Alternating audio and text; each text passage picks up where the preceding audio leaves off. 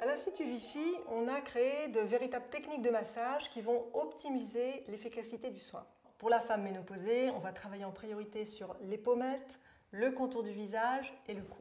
Le secret de cette gestuelle, tout d'abord, c'est de travailler en profondeur, parce que l'on veut à la fois agir sur les tissus cutanés, mais aussi sur les tissus musculaires.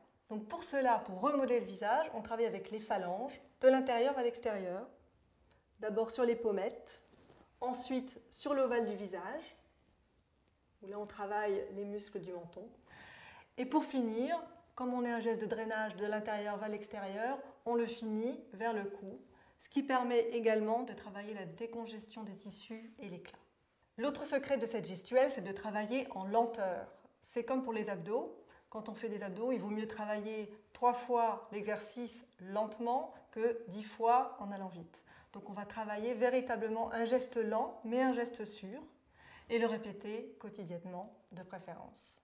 Ces gestes se font après l'application du soin pour avoir un effet de glissant, de confort, mais également on a un effet chauffant du massage qui va améliorer la pénétration des actifs dans la peau.